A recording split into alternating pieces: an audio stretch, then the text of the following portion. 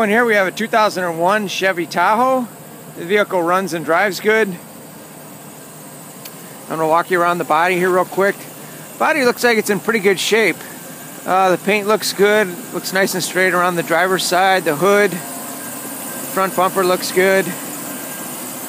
Coming around the passenger side, the front front fender looks good. Passenger side all looks nice and clean.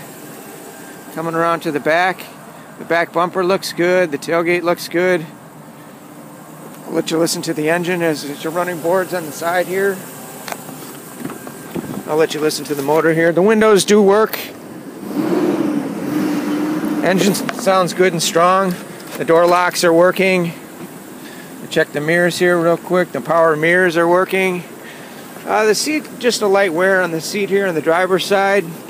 The power functions are working. Passenger side, the heat works good. Passenger seat looks good.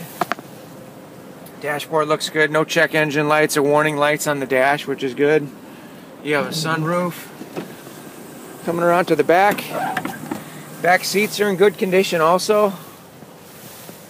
Here's a look in the cargo area. Carpeting looks good. So overall, good vehicle. You're missing the switch on the uh, window here on this passenger side. Overall, good vehicle. Safe to drive, safe and fun to drive also, in pretty good condition. So thanks for looking and good luck.